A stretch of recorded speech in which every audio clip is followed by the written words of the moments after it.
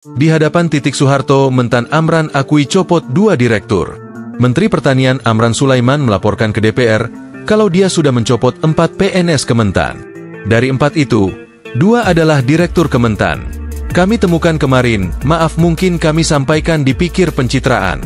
Kami pecat kemarin empat direktur dua, ungkap Amran di Komisi 4 DPR yang dipimpin Titik Soeharto, Selasa, 5 November 2024.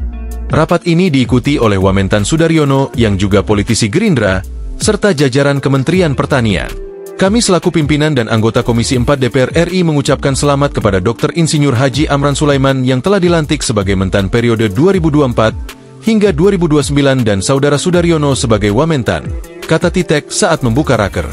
Titik menjelaskan, rapat dengan Menteri Pertanian dalam rangka perkenalan dan penjelasan rencana program prioritas Kementan 2025.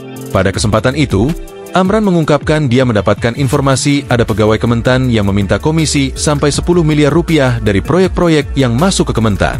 Oknum PNS tersebut meminta komisi besar dari pengusaha apabila proyek yang ditawarkan berhasil masuk Kementan. Kami panggil ini buktinya. Ini SMS kamu ambil uang kurang lebih 10 miliar rupiah. Yang kemarin lagi ini 700 rupiah, juta, kami dapatkan 800, juta, minta maaf. Ini saudara ini pangkatnya cukup tinggi tapi minta maaf kami pecat. Tegasnya. Amran pun bilang kalau dia tidak bisa mentolerir PNS atau pejabat Kementan yang bermain proyek. Kalau terbukti, dia langsung copot. Ini aku beritahu tutup buku. Kami tidak bisa membahas masa lalu tapi sekarang buka lembaran baru, ucapnya. Selain Mentan Amran, rapat ini diikuti oleh Wamentan Sudaryono yang juga politisi Gerindra, serta jajaran Kementerian Pertanian. Mentan Amran Sulaiman mengungkapkan, upaya membenahi pertanian nasional tidak berlangsung secara satu komando. Pasalnya beberapa stakeholder yang terlibat justru berjalan masing-masing sehingga membuat arah pembangunan pertanian tidak jelas. Ada kekeliruan, ada yang salah dengan pertanian kita, tidak satu komando. Penentu produksi tidak hanya di kami. Ini salah, tapi kita teruskan, ujar Amran. Pupuk berlebih dan gak akan terserap sampai akhir tahun karena di Juni-Juli terdistribusi sempurna dan itu pi. Kita nggak satu komando, ada di BUMN.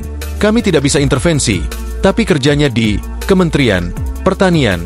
Kemudian, Kementerian Pertanian lakukan peningkatan produksi, tambahnya. Ia pun mencontohkan bagaimana harga jagung hancur karena komoditas ini mengalami penurunan harga cukup dalam akibat tidak satu komandonya pertanian.